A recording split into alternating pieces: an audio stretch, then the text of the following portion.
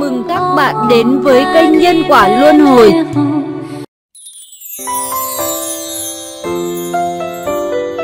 Chào mừng quý vị và các bạn đã đến với series Chuyện Nhân Quả với giọng đọc Hoa Tịnh.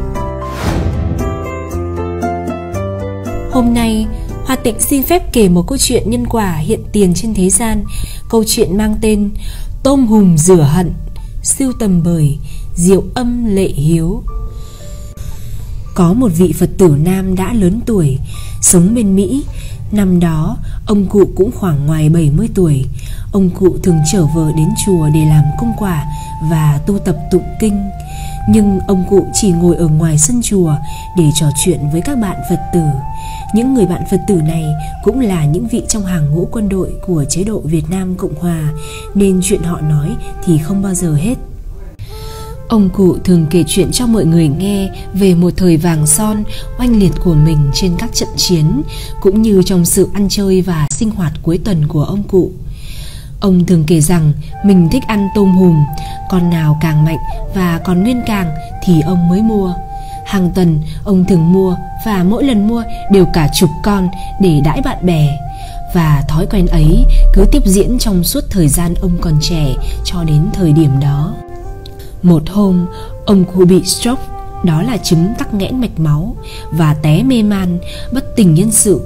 Trong lúc mê man, ông cụ thấy rất nhiều, có cả hàng trăm con tôm hùm thân hình to lớn, gấp trăm lần thân thể của ông, rượt đuổi và dùng càng sâu xé thân thể của ông.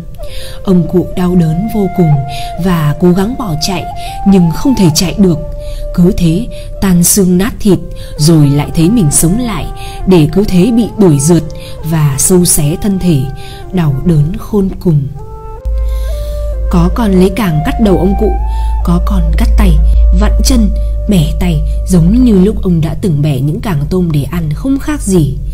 Ông cụ rất đau đớn và tìm cách chạy trốn, nhưng không thể chạy đi xa được. Cứ chết đi sống lại cả trăm nghìn lần như vậy. Thời gian này là thời gian ông cụ đang hôn mê ở trên giường bệnh. Đến lúc ông cụ quá đau đớn và sợ hãi, Ông không còn cách nào khác. Ông vội quỳ xuống, Tỏ sự hối hận của mình trước mặt những con tôm hùm kia. Van xin sám lỗi Và hứa nguyện, Nếu được thân người, Ông sẽ chuyên cần tụng kinh Để hồi hướng cho những con tôm đã chết. Vì ông chỉ có thể nhớ là tụng kinh, Chứ không thể nhớ ra được câu niệm Phật. Vừa ngay lúc ấy, Lúc ông quỳ xuống cầu xin sám hối tha mạng thì chính là lúc ông hoàn hồn tỉnh lại trên giường bệnh. Ông kể Lúc đó phần tiểu đã ra đầy cả quần và ướt cả áo. Vợ ông thấy ông tỉnh lại Thì vui mừng vô hạn. Nhưng ông nói đưa điện thoại để ông gọi cho ni sư trụ trì chùa ông thường đi.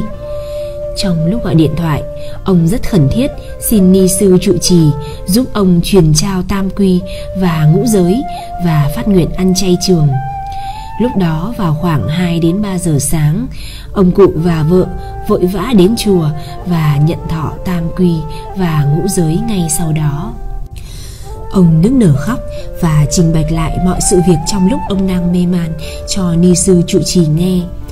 Một người đàn ông oai phong từng với chức vụ đại tá hiền ngang oai hùng trong các trận chiến Không hề sợ súng đạn Mà bây giờ trước tam bảo Phải quỳ khóc cầu khẩn Sám hối tội xưa Thì đã đủ hiểu, Khi nghiệp lực đến để đòi nợ Thì không kể một ai cũng phải nhận chịu. Dù là lực sĩ hay tướng cướp can cường, lì lợm, cứng đầu đến đâu cũng phải cúi đầu nhận lãnh nghiệp quả của mình đã gây ra. Những ác nhân nào đã làm thì tự mình phải chịu trả quả từ đó về sau, ông cụ trở nên rất chuyên tu niệm phật, cầu sám hối cho những tội nghiệp đã gây ra từ lúc còn trẻ. Ông cũng đã phát nguyện trường chay cho đến khi cuối cuộc đời. Đến chùa, ông cụ chỉ một lòng niệm phật. Ở nhà, ông cũng không dứt câu niệm phật, không còn ngồi nói chuyện như xưa nữa. Nhiều bạn ông cứ tưởng rằng sau cơn bạo bệnh ông bị khủng hoảng tinh thần và giống như người bị tâm thần ít ăn ít nói lúc nào cũng cầm tràng hạt trong tay để niệm phật Cho đến một ngày, ông cụ dọn qua tiểu bang khác và từ trần ở đó. Gia đình cụ cho biết ông ra đi rất thanh thản, trên tay vẫn còn cầm chuỗi tràng hạt để niệm Phật và vẻ mặt thật tươi lại còn có mùi thơm kỳ diệu phát ra. Cũng từ câu chuyện này, người kể kính mong quý liên hữu hãy xem đó làm gương để cùng nhau tinh tấn, dũng mãnh tu tập. Với tín, hạnh, nguyện, bất thoái. Nhân quả báo ứng tơ hào không sai Một mảy lông bụi trần cũng không thoát. Vậy vì sao chúng ta không nghĩ đến điều tốt? Nói điều tốt và làm điều tốt chứ. Xin hãy thử niệm Nam Mô A Di Đà Phật. Câu chuyện đã khép lại, chương trình xin phép được tạm dừng. Nếu thấy hay, các bạn hãy để lại bình luận phía bên dưới và hãy mạnh dạn chia sẻ đến bạn bè và người thân để mọi người cùng thưởng thức. Đừng quên bấm nút đăng ký và biểu tượng chiếc chuông để được thông báo khi có video mới. Xin chào và hẹn gặp lại các bạn trong những câu chuyện tiếp theo. ha ha ha, 问三摩地所呵。